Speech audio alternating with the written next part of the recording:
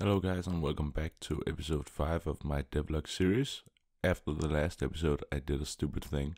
I imported Unity's terrain tool package and the asset terrain sample asset package, which caused my game to take 4 new errors and make it unplayable.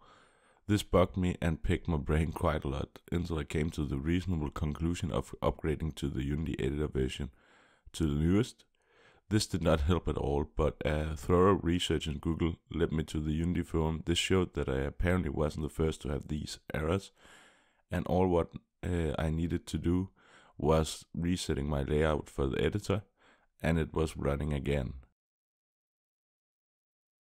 Now that it was working again, I started to model the terrain so the devlogs are more visual pleasing and you get a better idea of what the game is gonna look like. Then I worked on finishing the Platyrich. I texture painted it and began rigging it.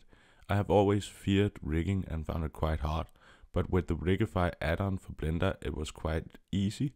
When I finished a rough draft for the rig, I began animating a simple run animation and idle animation for it. And when that was finished, I took the Platyrich and imported it into Unity and began working on the programming for writing the Platyrich because I feel like it would be very nice to ride around on the Platyrich uh, and uh, check out the whole environment at a faster pace, pace than just walking or running. And while I was doing that, Visual Studio Code's auto completion stopped working. I then began looking into it and currently have been trying to figure out why it's not working.